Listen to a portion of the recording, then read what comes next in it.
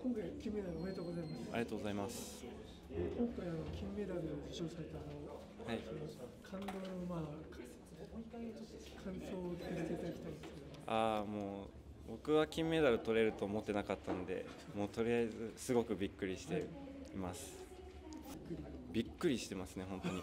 もう本当はいあのそうですねずっと勝つつもりで訓練してやってきたんですけど、本番にちょっと思いがけないことがありまして、多少なんか遅れはいはいそれを乗り越えて今回。あそうですね。深いもので